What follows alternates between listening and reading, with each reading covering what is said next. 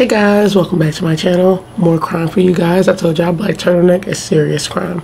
So today we will be talking and I'm going to be sharing the screen with you guys. We're going to be talking about a crime really gruesome. This is about family. We have a brother, a younger brother, who killed his older sister because she was no longer innocent. Y'all, I'm talking about dismembered, left body parts for people to see, crazy crime scene. Like, I'm talking about knives everywhere, blood everywhere, and body parts. Now, when I hear this, I'm like, okay, hold on.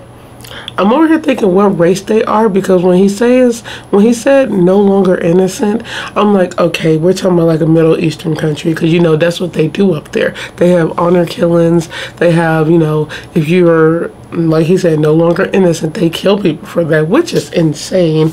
That you know as far as humans have adapted and evolved, they still do that up there, and I think it's so insane. Because you know, in India, they still have honor killings. Actually, it's this woman. I watched her whole story on YouTube. You know, when they talk about like survived the honor killing, all that. That lady, I was crying like a baby up in that video, y'all. Like watching that video because she because she was talking about how her childhood, like tragic childhood. I'm sorry, I've been through everything with older men are just just that is so dark and even now she's a, um in america no she's in the uk and she um maybe I think she's still in the UK, but she moved over there. She's an advocate now for honor killings, and they're still trying to find her. Her family's still trying to kill her. So stuff like that. So I got a feeling that's what this is like about to be like. Not like that gruesome. Well, it's gruesome, but don't get me wrong. I'm talking about like with the family, like that type of dynamic, religious stuff like that. But this is really dark, so I'm gonna, gonna share the screen with you guys. So man dismembered pregnant sister because she was no longer innocent and left body parts on neighbor steps. So this is a picture of her, by the way, with her husband. Now, I think it's interesting too that this happened because you know normally and this should not be normal okay so when i say normally i'm just saying that the, like the way it happens okay they kill people which is really crazy. They kill like women up there in those countries because they're like that they just like get that they hook up with like you know it's like sleeping with random men, which I do not believe they do because they know, unfortunately, these men are here. They will kill them if they do. So they always be like, you be hearing them talk about like women who are no longer, who, um, not no longer, but like that, but women who are, who give themselves to random men who just sleep around will be stoned to death. So I'm like, I doubt it, but I don't know what religious they, like what religion they are. I'm just speculating. That's what I'm saying, y'all. So let's just start reading. But that is her husband, Beth Bethany Ann Israel and her husband. So, a 23 year old man in Minnesota is accused of killing his 30 year old sister last week and then dismembering her body, placing pieces of her remains in several different locations because her pregnancy meant she was no longer innocent. Okay, first of all, it's so weird because you're just a younger brother. It's like this woman is married. That's her business. And I don't care what religion they are they're, they're I don't believe in like what they believe in. And this is gonna be like a religious video, I feel like, because I'm y'all, I'm not a religious person. I am okay with what people believe in. But murdering somebody because of like what they believe in. I just don't believe in that. I don't believe in that. I don't believe in those middle, the Middle Eastern countries' ways. But they say they, they say they do stuff for like God and stuff. But I'm like, that's not true. Y'all are evil human beings. That's what that is. That's not religion. What they're doing.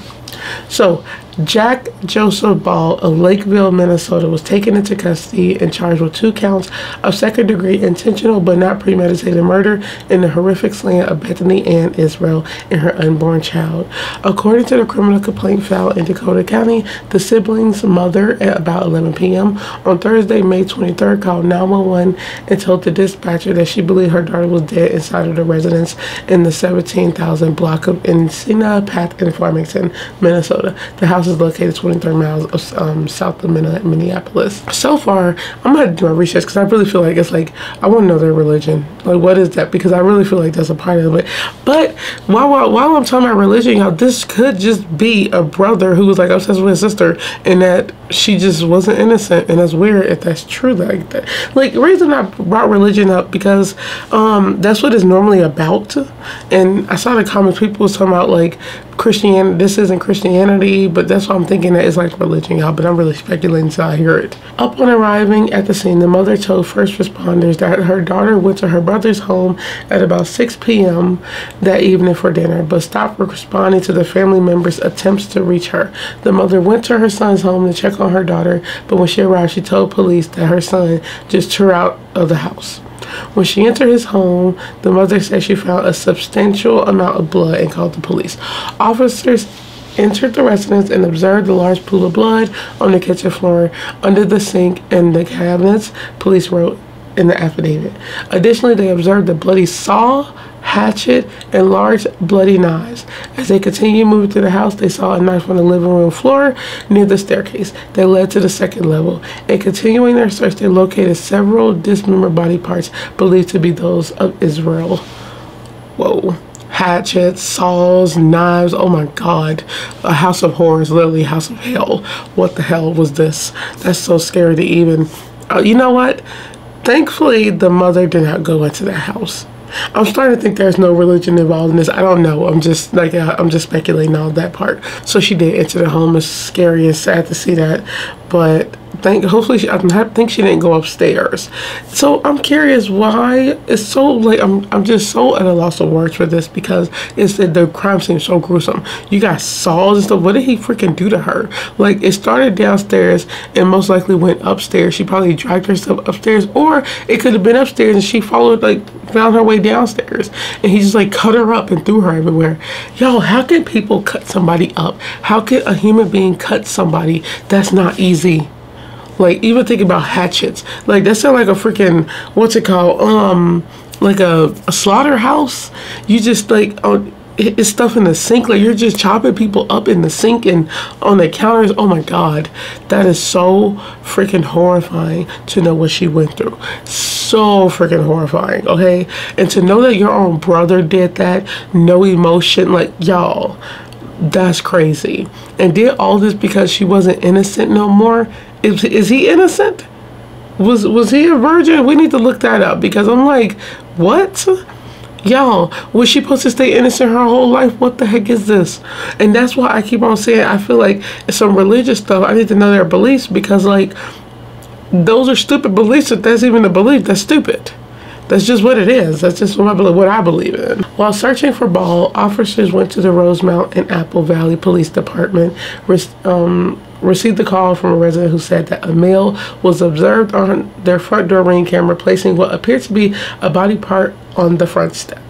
Upon arriving at the second residence, police said they recovered a dismembered body part, which they believed came from Israel the daughter. Ball was located in the backyard of a residence a few doors down from where the body part was discovered. Defendant was located near a shed in the backyard of the residence at which his car was parked. He was covered in blood on his he had blood on his head, shirt, arms, legs, and pants. They also observed what appeared to be a self-inflicted knife wound across his throat, the affidavit states. Upon searching the area, police found several dismembered body parts as they believed to be the sister. He was transported to the hospital for treatments. Authorities investigating the crime scene said they found several journals in his handwriting in which he said he was angry at his sister because she was pregnant and no longer innocent. Whoa. Let's just stop and take it all in. Why the the putting body parts in bags and boxes on people's doorsteps? What is that about? To show people like what he did? What was that? Like that's really weird he's writing journals about her. Y'all, I really feel like what if he had like what if it's not even religion and he just had like an obsession with his sister? Cause you know that do happen. Like what if he just like wanted his sister and she was no longer innocent for him? That's disgusting to think about. But it's a possibility. Cause why do he have journals about her? Why he why is he writing journals about her at all? About her no longer being innocent because she's having a baby. That's so weird.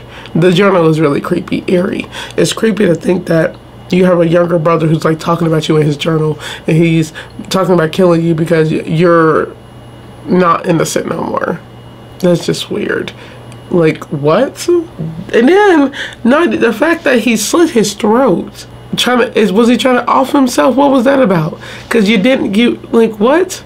So that when you put the pieces together, you have him killing her because she was no longer innocent. Her writing journal, well, him writing journals about it, about her no longer being innocent, and then him killing himself. I feel you know what a theory is coming to mind, y'all, that he got an obsession with his sister. That's what it is. That's what that's what I believe. Okay, and I quote, the allegations in this case are deeply disturbing and horrific. Words cannot describe what our law enforcement partners encountered during the investigation, Dakota County Attorney Kathy Keena said in a statement. My office will work hard to ensure the victims receive justice and provide the necessary support for the victim's family. Ball appeared before the district court judge Bryce Ehrman on Tuesday from his hospital room. His bond was set at 1 million with conditions or two millions without conditions. He is currently scheduled to appear in the court again on June 10th. Don't know why he has a bond. Seriously, this is gruesome. Nobody, y'all. Well, I I know it's the law that this is what we do, but like seriously, we really got to get out of that mentality of like crimes like this when they're so gruesome they don't deserve. Just don't give him a bond. We know he's not getting out, but just don't give him one. This was wild, y'all. By the way, she was 18 weeks pregnant. That's so sad. So I'm still I'm surprised he didn't. I'm surprised he didn't get charged with first degree murder. We know it wasn't, oh, definitely, I don't know if it was premeditated. The journals could actually prove it was premeditated. He was talking to, if he was talking about killing her. But emphasize on S, y'all.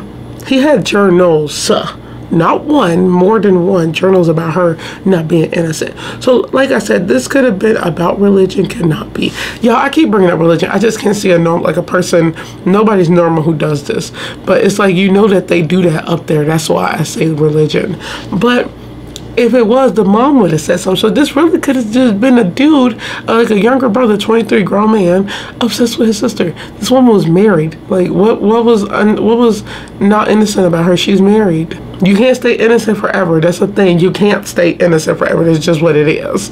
We all know that, unless you know they kill you before it, which is really heartbreaking. In anything, just to be taken out of here, and when you haven't lived your life. But to say she was, you killed her because she wasn't innocent they need to look at his background. Were you innocent dude? Like you weirdo? I just think he was obsessed with his sister. That's my new theory. Yeah, it was just a really sick crime, y'all. Should not have happened. It's definitely more to this, and I'm really curious about what he has to say. Like there has to be more. You can't just say like kill, kill somebody like that and like try to go away. They should release his journals. What did he say about her? He was so obsessed with his sister. He ain't telling me nothing. He wanted his sister. That's so nasty. Because why would he care that much? Unless they're religious. But the mom didn't say any of that yet. But it's only so much I got from this like thing right here. Even I tried to look on other sources, y'all. It's all the same thing. So it's only so much they know. So what do you guys think about this? Do y'all believe it was like a religious attack, or do you believe it was just him wanting his sister? I swear it's like those two. Because what else would he kill her for? You killed your unborn niece. There's reasons. That's weird. And there are people like this out here, y'all. And we live among them. And they are in your family. Some not not hopefully not, but you know this one was. So on that note, I hope you guys enjoyed this video. We are really growing this channel and I'm so happy. I love talking about crime because there's so much crazy stuff going on. You have no choice. I look at the positive, okay? This stuff don't stick in my head, okay? So don't think I'm like going crazy over this stuff. I'm not. I talk about crime, but I have to like look at the news. I need to know what's going on in here, y'all. It's just what it is. There's so much going on in 2024. You have to. You have to look at the news. You need to look at crimes that's going on around you because you wouldn't know if you're not. There's so much. You can't stay in that perfect bubble when where nothing happens you have to go outside and look around because on the news on the internet don't go looking for bodies but like you have to because it's like it's too much stuff going on right now to ignore it. That's why i talk about it and that's why i research it. That's why i look it up all day because there's so much going on. And i need to stay aware because there's all type of crimes happening y'all. People are going crazy right now. And nobody knows why. I feel like somebody released something in the, in the air or something because it's too much crime and it, 2024 just started. So yeah. Let me know what you guys think in the comments. Don't forget to like comment share subscribe. Welcome to my new subscribers and i'll see you guys on the next video. Bye